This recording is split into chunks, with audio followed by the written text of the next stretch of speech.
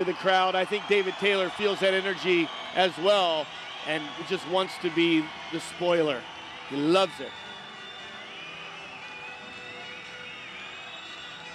I will be surprised if Yazdani doesn't come out with some shots and, and trying to get a lead early. It's interesting to see the approach. Taylor has not moved. He has planted into that position, awaiting the handshake. Yazdani staying loose. He will wait to get into the position. A brief handshake. The referee makes sure everybody is set. The world watches, and here we go for gold at 86. Yazdani right to that left hand underhook.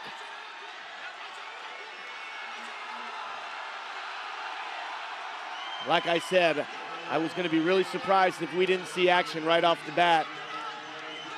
Yazdani going to that wrist position and, and fighting with his head.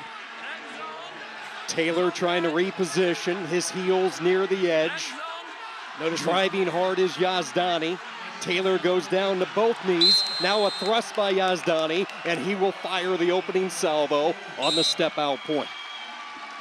Taylor's done a really good job with Yazdani. When he's attacked, Taylor's been the aggressor of getting that second attack.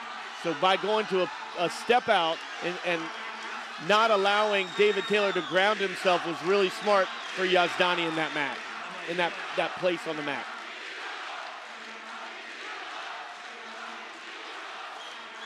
Double unders, Yazdani pinching tightly, brings Taylor down. Taylor still with the left arm control, preventing Yazdani from trying to swing around or grab an ankle. Look how he's pulling that uh, elbow underneath and not letting Yazdani's elbows come up to get to the corner, keeping Yazdani in front of him. Very smart by David Taylor. But the right now, the pressure and the power primarily is coming from Yazdani. In just a moment, I wouldn't be surprised if we see a passivity call against Taylor as he's been on his heels. Again, it's Yazdani just driving in the underhook. Taylor does a much better job of, of able to circle it back, get back into the center. Yazdani, a more aggressive approach from what we've seen in the previous matchups.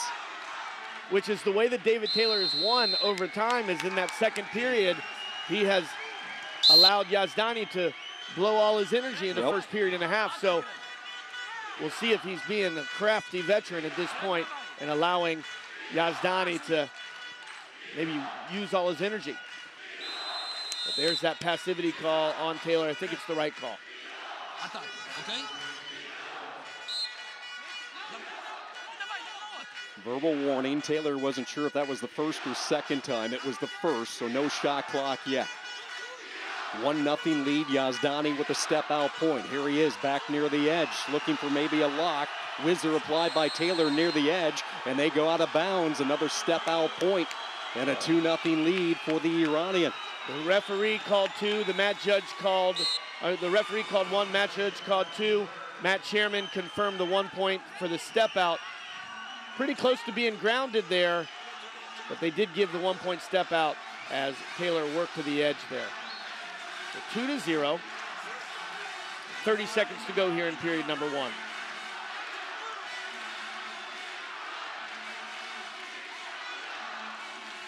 David Taylor absolutely destroyed the field yesterday, powering his way into this gold medal match.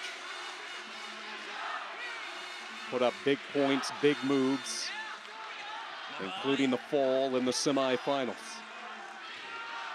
Held off the score sheet in this one after three minutes. Yazdani will go to the corners and a 2 0 lead for Iran.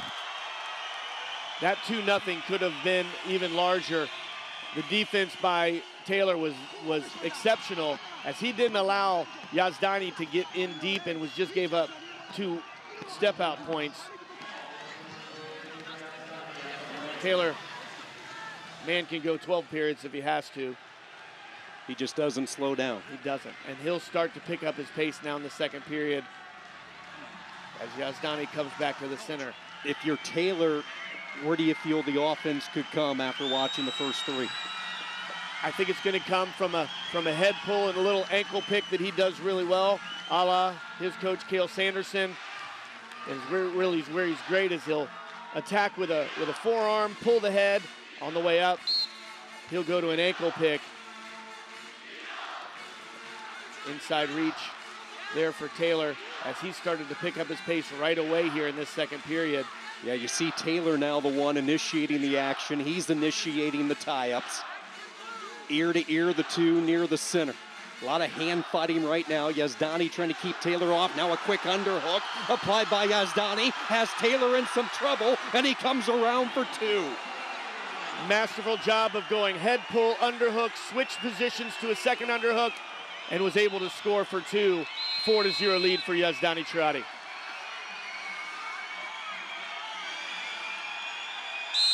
His change of direction is is ridiculous.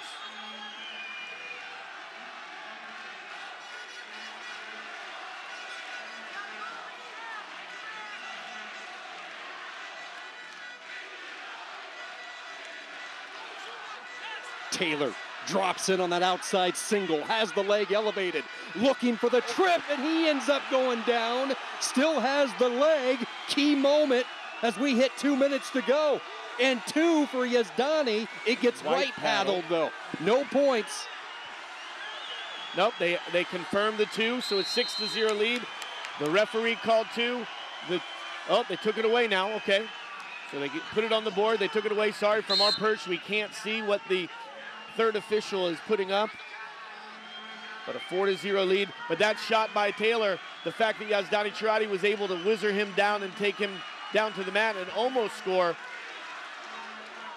doesn't bode well for looking further in this match. On August 5th, Tokyo, Japan, Taylor rallied from a deficit, scored a takedown with just a few seconds to go. Can he rally here in Oslo? Has control, and he's on the board for the first time. And again, once he gets to that, he locks that double right below the, the cheeks of, of Yazdani and is able to lift. Yazdani was smart to belly down instead of going to his back for four. So right now there's that pace going again, a, a change of direction. Taylor came right hand and then switched up to the left hand swing single back up to their feet. Right now, the pace by Taylor is putting it to Yazdani Chirati. Coach is a little bit worried right now. Crowd echoing here inside the Jordal Amfi Arena. Taylor with 35 seconds. He has been in this position before. Yazdani, will this be the time he figures out the American on a two-day run that Iran is going to remember. And Yazdani Cherati, if he's going to win this, needs to stay with that underhook and keep Taylor from going to his shot, keep him chest to chest, because when he doesn't, 12 seconds to go, 10 seconds to go, Yazdani Cherati staying busy, staying hungry, one point on the step out, now two on the takedown. That's to do it. He broke the four match and boy, has Iran had a great day. They've won the close ones today. Look at the jubilation from Iran. They will remember this two-day stretch in Oslo for a very, very long time. And let me tell you, Yazdani Cherati left it all on the mat. He is gassed. He's proud gives a little kiss to David Taylor.